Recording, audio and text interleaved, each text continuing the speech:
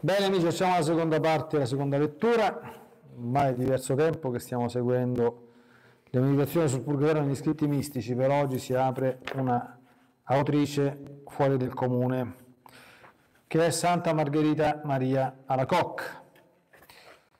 Eh, la grande Santa Margherita Maria Alacoc, qui c'è anche un breve profilo biografico che però eh, lo mettiamo, 1647-1690 è una delle grandi, forse delle più grandi sante esistite nel corso della storia. Per chi non lo sapesse, che sta seguendo la diretta, ricordo che eh, Maria Valtorta vide in visione le tre donne che Gesù disse essere state le sue, più, le sue tre più grandi innamorate di tutto il corso della storia, della Chiesa, almeno fino a quando Maria Valtorta ebbe la visione, cioè gli anni 50, adesso non sappiamo se è nato qualcuno che l'ha superate po' difficile. Una era in ordine cronologico piccolina, Gertrude da Efta, detta la Grande, vissuta nel XIV secolo, nel 1300. L'altra era Santa Margherita Maria da Coc e l'altra era Santa Veronica Giuliana, quasi, Giuliani quasi contemporanee. Margherita faceva in Francia quello che eh, Veronica faceva in Italia e viceversa. E Avverto che anche qui le visioni che ebbe del Purgatorio Santa Margherita Maria da Coc sono abbastanza impegnative. Quindi se qualcuno ha lo stomaco un pochino debole, meglio che cambia canale e, dopo si ricollega per l'ultima parte del rosario per quanto riguarda la, la diretta. E invece poi i podcast come sempre andranno registrati e quindi Ok, detto fatta questa breve premessa, cominciamo le registrazioni e la lettura.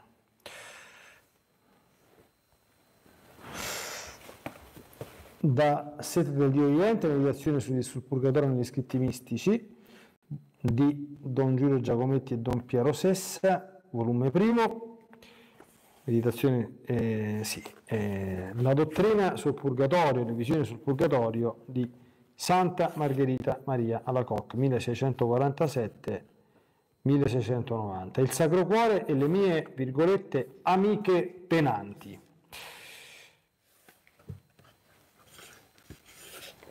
Testi 1673. Si flagella per le anime del purgatorio. Quando mi accade di fare di mia scelta e senza l'ordine suo o della superiore, della superiore a quelle specie di mortificazione e di penitenze, egli non mi permette nemmeno di offrirgliele, me ne corregge imponendomi la pena proprio con quelle altre mancanze, ciascuna delle quali trova la sua particolare pena nel purgatorio, dove mi purifica per rendermi meno indegna della sua divina presenza e operazione. Infatti tutto in me era opera sua. Una volta, per esempio, Avendo finito un'ave maris stella di disciplina, secondo l'ordine che mi era stato dato, egli mi disse, ecco la mia parte. E siccome io continuavo, senti, ecco tu ora fai la parte del demonio. Naturalmente smisi subito. Un'altra volta facevo la disciplina per le sante anime del purgatorio dal momento che io ne volli fare più di quanto ne avevo permesso, esse mi circondarono lamentandosi perché le colpivo. Ciò mi fece prendere la risoluzione di morire piuttosto che oltrepassare anche per poco i limiti dell'ubbidienza. Oltretutto egli me ne dava la penitenza. Quando dice egli, capiamo che, riferisce, che si riferisce a Domine Dio, ovviamente, eh, quindi al nostro Signore Gesù Cristo. Una volta dunque, mentre ero davanti al Santissimo Sacramento, Avendo trovato un po' di tempo libero, poiché le occupazioni che mi si davano non me ne lasciavano affatto, mi sentii investita della divina presenza, ma così fortemente che mi dimenticai di me stessa e del luogo dove ero e mi abbandonai a quel divino spirito consegnando il mio cuore alla forza del suo amore. Egli mi lasciò riposare a lungo sul suo petto divino, dove mi fece conoscere le meraviglie del suo amore ed i segreti inspiegabili del suo Sacro Cuore, che mi aveva sempre tenuto nascosto, fino al momento in cui egli me lo manifestò per la prima volta. Lo fece in modo così effettivo e sensibile che non mi lasciò alcun dubbio per gli effetti che questa grazia produsse in me. Tuttavia, temo sempre di ingannarmi in tutto ciò che dico avvenire in me.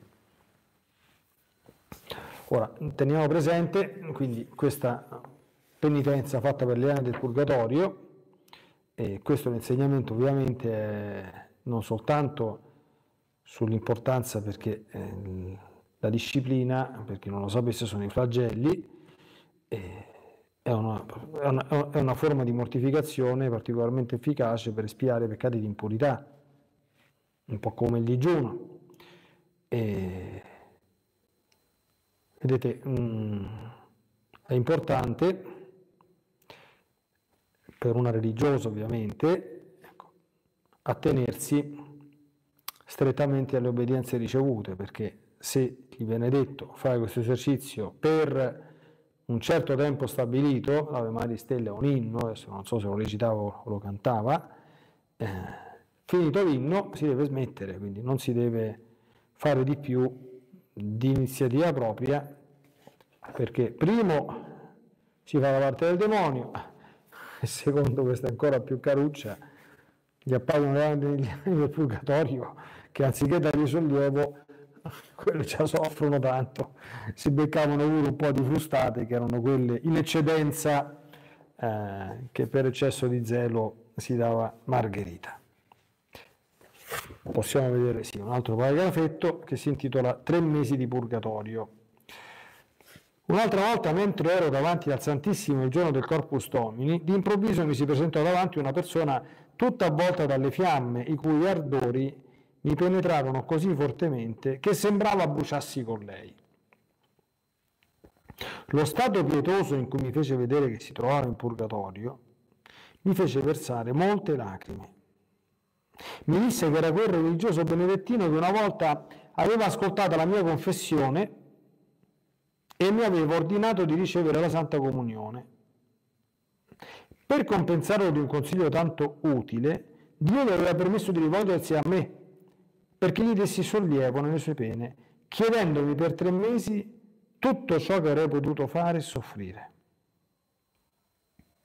Glielo promisi dopo averne ottenuto il permesso dalla superiora. Mi disse che la prima causa delle sue grandi sofferenze, ecco qui adesso comincio a, ad agitarmi un po' io, era aver preferito il proprio interesse alla gloria di Dio per troppo attaccamento alla sua reputazione. Un problema per gli uomini incaricati. Eh, non badare alla reputazione,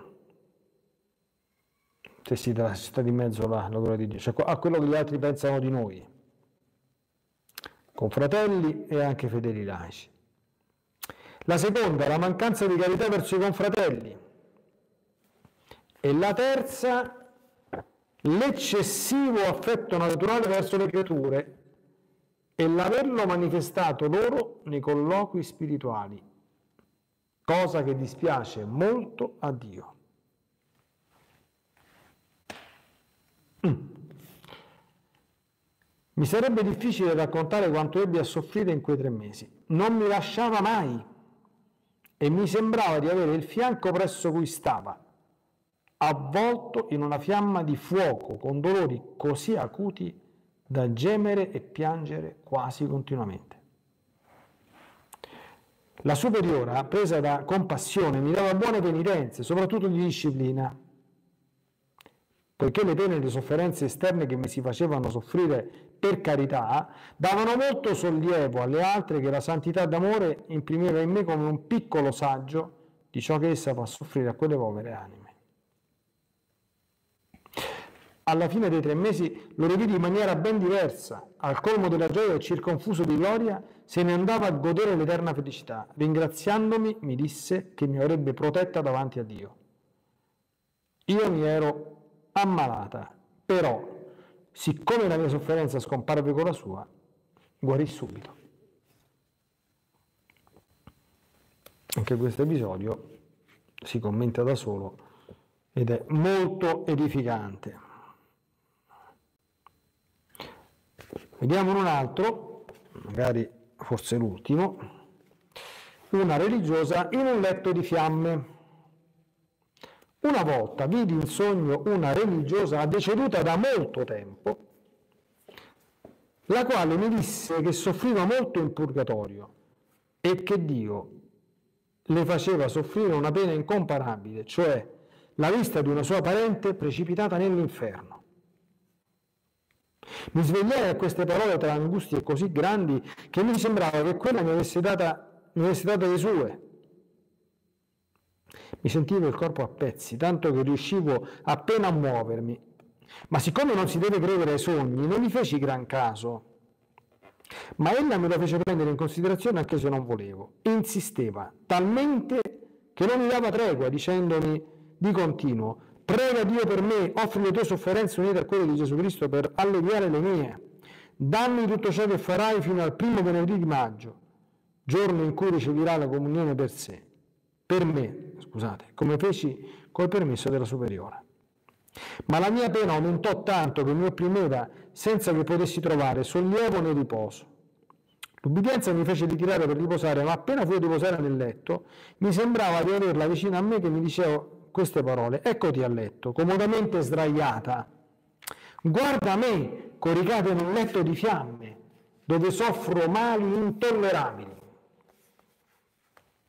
Mi fece vedere quell'orribile letto che mi fa fremere ogni volta che ci penso, perché il materasso era di punte acuminate tutte di fuoco che le penetravano nella carne. mi disse che era a causa della sua pigrizia e negligenza nell'osservanza delle regole e della infedeltà a Dio. E poi mi si strazia il cuore con pettini di ferro incandescente, e questo è il mio più crudele tormento, per i pensieri di mormorazione e di critica nei quali mi sono soffermata contro le superiori e ho la lingua mangiata da parassiti per punire le parole che ho detto contro la carità. E per aver mancato di silenzio, ecco la bocca tutta ulcerata. Ah, come vorrei che tutte le anime consacrate a Dio mi potessero vedere in questo orribile tormento, se potessi far loro provare la grandezza delle mie pene e di quelle che sono preparate a quante vivono negligentemente nella vocazione, senza dubbio si comporterebbero ben diversamente, osservando con esattezza i loro doveri, e si guarderebbero dal cadere nei difetti che mi fanno tanto soffrire. Tali lamenti mi facevano versare torrenti di lacrime. Mi volevano dare qualche medicina. Allora mi disse, sì, pensa a dare sollievo ai tuoi mali, ma nessuno pensa ad alleviare i miei. Ohimè, un giorno di silenzio assoluto di tutta la comunità guarirebbe la mia bocca ulcerata. Un altro, trascorsa nella, nella pratica della carità senza cadere in alcuna colpa contro di questa, mi guarirebbe la lingua.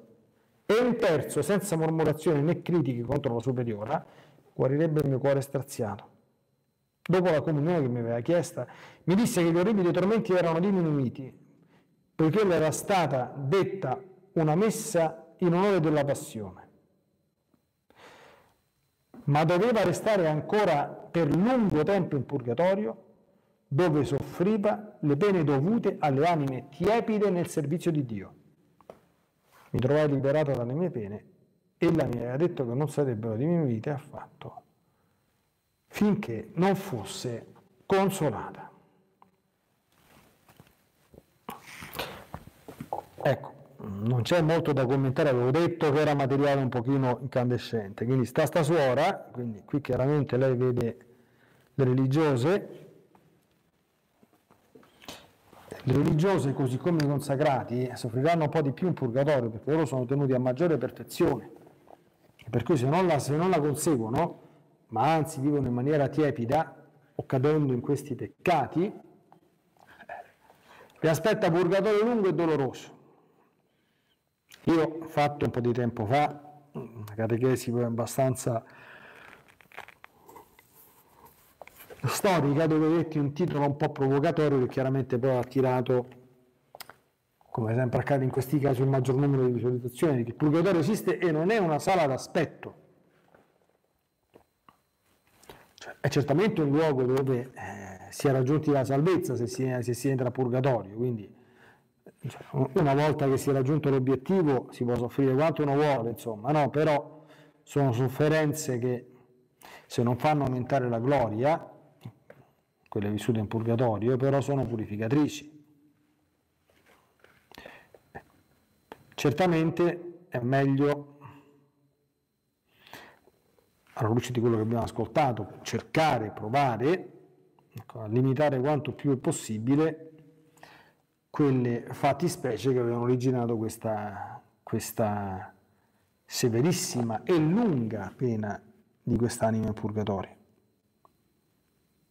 Ecco, quindi quello che abbiamo ascoltato è abbastanza forte, riteniamolo e non è certamente un nobile motivo aspirare al paradiso e alla salvezza dell'anima solo per evitare i tormenti. Il più nobile motivo è farlo per amore di Dio e perché Lui lo merita, è sua gloria ed è nostra santificazione. Ecco. Però se non c'è altro che il timore di soffrire troppo in purgatorio, ecco, se questo lo si può trasformare in bene, va bene anche questo. Nella consapevolezza che queste non sono favole, ma purtroppo questi luoghi che ci attendono dopo la fine della vita terrena esistono con certezza. Appunto, il purgatorio, l'agognato paradiso e purtroppo, abbiamo sentito nella precedente lettura, anche la reale possibilità dell'eterna dannazione.